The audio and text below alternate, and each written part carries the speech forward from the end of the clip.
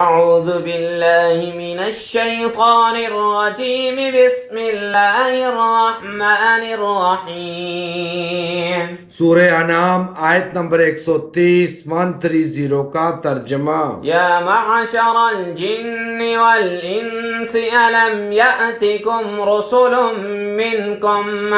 اے گروہ جن و انس کیا نہیں آئے؟ تمہارے پاس رسول جو تم میں سے تھے۔ عليكم آياتي وينذرونكم لقاء يومكم هذا۔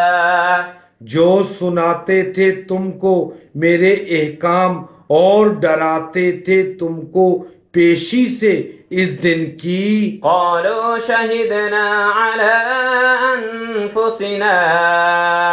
کہیں گے گواہی دیتے ہیں ہم خود اپنے خلاف۔ وغرتهم الحياة الدنيا اور اصل دھوکے میں ڈال رکھا تھا۔ اور اصل دھوکے میں ڈال رکھا تھا۔ ان کو دنیاوی زندگی نے۔ وشهدوا على أنفسهم أنهم كانوا كافرين۔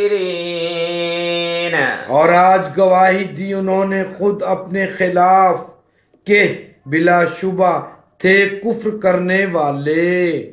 أستغفر اللہ يا معشر الجن والإنس ألم يأتكم رسل منكم يقصون عليكم آياتي وينذرونكم لقاء يومكم هذا؟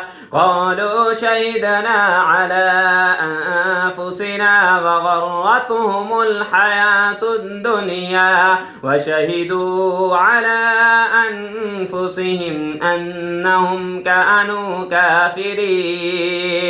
استغفر اللہ اے جنات اور انسانوں کی جماعت، کیا تمہارے پاس تم میں سے ہی پیغمبر نہیں آئے تھے جو تم سے میرے احکام بیان کرتے اور تم کو اس آج کے دن کی خبر دیتے، وہ سب عرض کریں گے کہ ہم اپنے اوپر اقرار کرتے ہیں اور ان کو دنیاوی زندگی نے بھول میں ڈالے رکھا اور یہ لوگ اقرار کرنے والے ہوں گے کہ وہ کافر تھے۔ أستغفر اللہ اللهم صل على محمد النبي الأمي وعلى آله وسلم تسليما.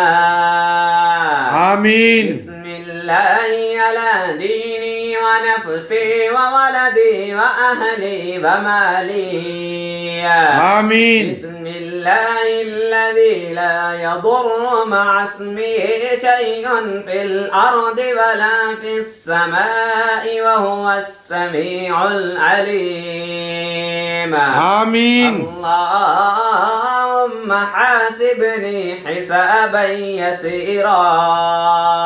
آمین يا أليم يا حليم يا ألي يا عظيم. یا اللہ ہمارے صغیرہ کبیرہ تمام گناہ معاف فرما۔ آمین۔ یا اللہ ہمارے اہل خانہ اور اولاد کو پانچ وقت کی نماز قائم کرنے والا بنا۔ آمین۔ پابندی وقت کے ساتھ۔ آمین۔ یا اللہ ان کے رزق میں کشادگی عطا فرما۔ آمین۔ ملک پاکستان کی حفاظت فرما۔ آمین۔ صلی اللہ علیہ وآلہ وأصحابہ وأہل بيته اجمعین آمین. جزاک اللہ. ستائیس سات سن دو ہزار سترہ.